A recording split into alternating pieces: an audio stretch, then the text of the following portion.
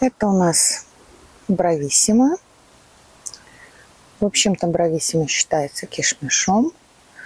Вот одна плоскость. И вот он на второй плоскости. Ну, гроздочки такого среднего размера. Ягода тоже немножко разнокалиберная. Конечно, есть где-то поменьше гроздочки, да? Где-то побольше. В среднем 2-3 грозди на побег. Ну, чуть сюда переместимся. Здесь, конечно, листики нам тень создают. Вот такие вот среднего размера гроздочки, да, и смотрите, ягоды тоже такого ну, среднего размера. Вот эта крупная ягода, вот в таких крупных ягодах у нас будет косточка. Сейчас я прямо у вас на глазах все это а, покажу.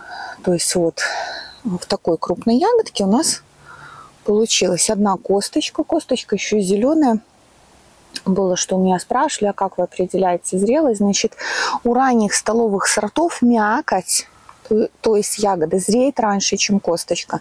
Поэтому у столовых сортов мы на зрелость косточки, ну, можно, конечно, смотреть, но постольку поскольку. Значит, это вот такая вот ягодка. Ну, возьмем какую-нибудь вот такую покрупнее, ну, обычную, да. Вот тоже мы ее разрезаем. И здесь у нас, смотрите, ничего, вообще ни рудиментов, вообще ничего нету. При этом видим, что ну, размер такой достаточно, достаточно хороший. Ну, вот еще посмотрим ягодку такую покрупнее. Что в ней? Ну, тоже видите, да, ни, ничего. Абсолютно в этой ягодке нету. То есть, в принципе, как кишмиш он себя ведет достаточно хорошо.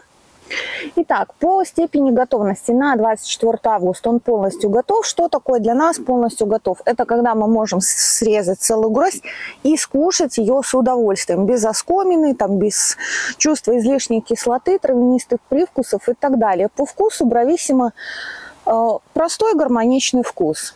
Приятно баланс сахара, то есть ягода такая неприторная, а просто приятная для поедания, мякоть сочная, ягода сама тоже сочная.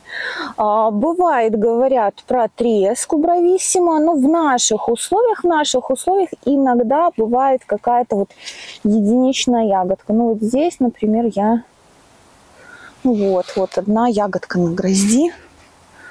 Она есть. Ну дальше, дальше я особо ничего не вижу. Дальше все целенькая. Очень большая сила роста, конечно, у куста. Что еще по брависсимо? Большая сила роста, очень большая. Немножко наша ошибка, мы его нулевым кустом посадили с формировкой в одну сторону. Да, вот даже поскольку есть пока место, немножко ему тут дали свободы, немножко он загущен. При этом видите, да, что при таком загущении, при в этом сезоне с болезнями тут все нормально. Ну, может, какое-то там единичное подожженное мильдию сверху есть. Опять же, для этого года это на уровне погрешности. Ну, лоза, в общем-то, тоже у него зреет достаточно хорошо. Кишмиш лучистый. Наверное, самый невезучий сорт на нашем участке. Как-то все время ему не везло, и он у нас подмерзал по весне. Ну, а дальше замкнутый круг, да, не успевает вызревать лоза за лето, а, урожай не очень, ну и так далее, и так далее. Ну вот этой весной мы таки постарались от заморозков его защитить. Вот получили урожай. Гроздочки, конечно, разные. Вот здесь грозди небольшие, мы ничего не нормировали. Окраска интересна, вот такая вот желто-розовая. Причем розовая она с теневой стороны, а желтая с солнечной. Вот здесь, смотрите, листиками было прикрыто. Я даже не видела эту гроздь. Да, вот здесь она более розовая. Даже ягодки здесь покрупнее. Но вот с теневой стороны тут вообще такие прям, прям очень хорошие грозди. Смотрите, сейчас покажу вот это вот все, вот это, это одна гроздь, а вот это вот вторая. То есть потенциал очень хороший, если его защитить весну, да, и дать нормально вызреть лозе. По срокам он такой немножко поздноват, но в этом сезоне 30 августа он уже практически созрел. Почему говорю практически? Потому что не полностью. Смотрите, это а, такой юго-западный пристенок. С другой стороны находится соседское здание, соседская баня. Соответственно, то, что я вам показывала, вот эти большие красивые грозди, они находятся в тени, и они еще не совсем готовы.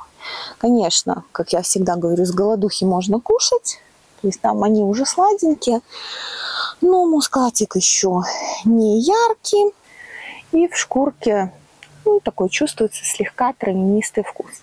Здесь же сторона солнечная, и здесь уже ягода полностью готова.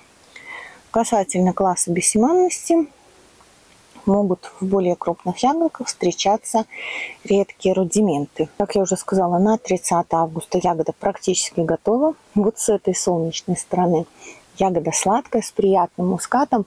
Мускат такой с легкой цитронной ноткой. Ягода сочная и нежная. Ну, касательно вызревания лозы, то есть если у нас по весне не было катаклизмов, то, в общем-то, и лоза зреет достаточно хорошо. В этом году видно, что лоза уже на это время хорошо желтая и уже процессы вызревания идут во все. Может хватать мильдию, поэтому, конечно, профилактические обработки надо делать обязательно. Но если их делать, в таком случае, в общем-то, вполне он себя будет нормально чувствовать. Велес, ну вы только посмотрите на эту красоту. Сейчас здесь солнце, вот камера показывает часть гроздей, там дальше я потом поменяю, еще покажу.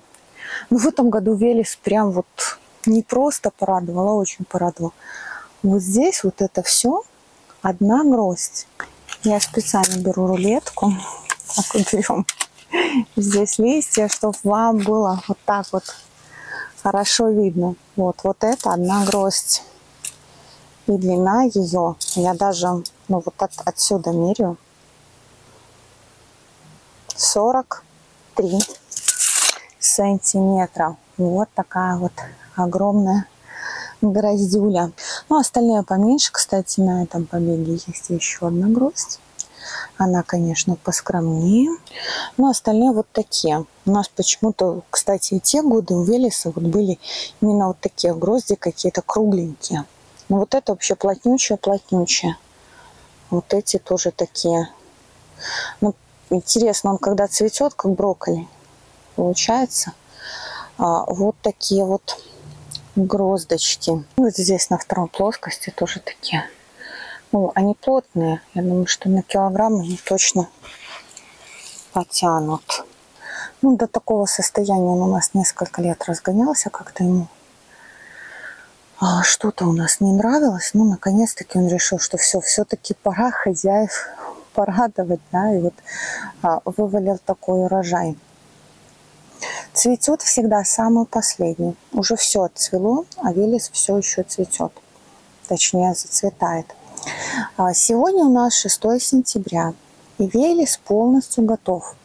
Единственное, что, кстати, ничего не нормировали, ничего не убирали. Вот решили, ну давай же посмотрим его, вот как он полностью созревает, да, под а, полной нагрузкой.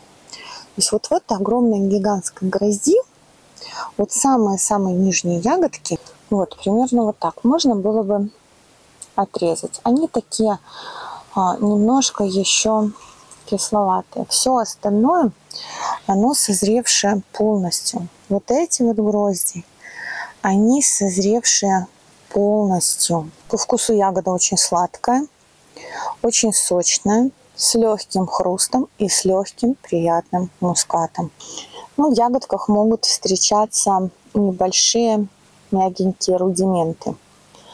По болезням может где-то по верхушкам в конце сезона чуть-чуть схватить мильдию.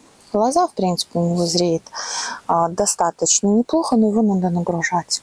Вот те годы он у нас как-то поджевывал, как-то не мог нормально урожай заложить. Вот в этом году и урожай заложил, и, в принципе, лоза на начало сентября вполне в нормальном состоянии. Конечно, есть формы, у которых больше вызревания лозы, но опять же, все равно велес еще у нас немножко поджировывает. Еще можно было бы его нагрузить, но просто нечем было.